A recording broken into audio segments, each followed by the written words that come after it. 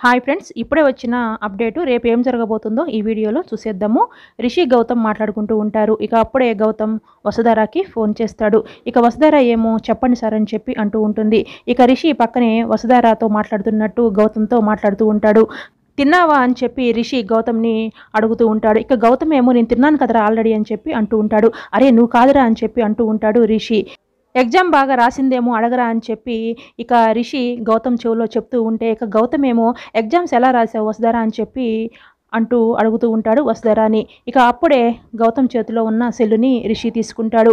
ఇక వసుధార ఏమో ఎందుకు రాయను సార్ అన్ని ఎగ్జామ్స్ నేను చాలా బాగా రాస్తాను. ఎందుకంటే నేను ఒకళ్ళకి మాట ఇచ్చాను ఆ మాటను నేను నిలబెట్టుకుంటాను. నా ఆశయాన్ని నేను నెరవేర్చుకుంటాను అని చెప్పి ఇక వసుధార గౌతమ్తో చెప్పినట్టు రిషికి చెప్తూ ఉంటే ఇక రిషి ఆ మాటలు విని చాలా సంతోషిస్తాడు. ఇది ఇలా ఉండగా రిషి హాల్లోకి వెళ్తాడు. ఇక అందరూ హాల్లో కూర్చొని మాట్లాడుకుంటూ ఉంటారు. ఇక రిషి దేవయానితో పెద్దమ్మ కాలేజీలో ఎగ్జామ్స్ అయిపోయిన తర్వాత నేను మీకు ఒక గుడ్ న్యూస్ చెప్తాను అని అంటే ఇక అందరూ కూడా షాక్ అయిపోయి అలానే చూస్తూ ఉండిపోతారు. ఇక దేవయాని అయితే ఏంటా గుడ్ న్యూస్ ఏంటి? అని చెప్పి ఇక అలానే చూస్తూ ఉండిపోతుంది రిషి వైపు.